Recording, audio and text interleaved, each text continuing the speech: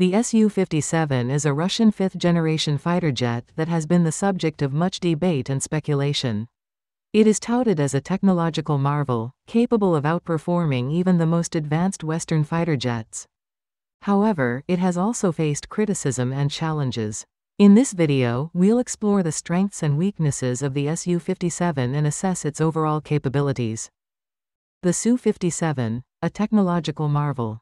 The Su-57 is designed to be stealthy, maneuverable, and capable of carrying a variety of weapons.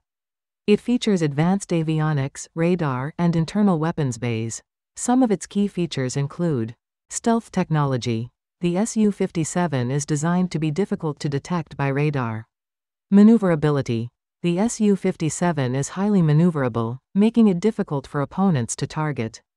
Weapon systems. The Su-57 is capable of carrying a variety of weapons, including air-to-air missiles, air-to-ground missiles, and internal cannons. The challenges facing the Su-57.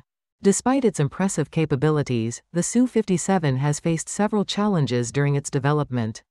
These include technical issues. The Su-57 has experienced delays and technical problems during its development. Cost overruns. The program has faced significant cost overruns. Limited production. The Su-57 is being produced in limited numbers.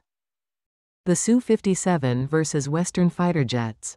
The Su-57 has been compared to Western fighter jets such as the F-35 and the J-20. While the Su-57 has its strengths, it faces stiff competition from these advanced aircraft. The Su-57 is a formidable fighter jet that represents a significant advancement in Russian military technology.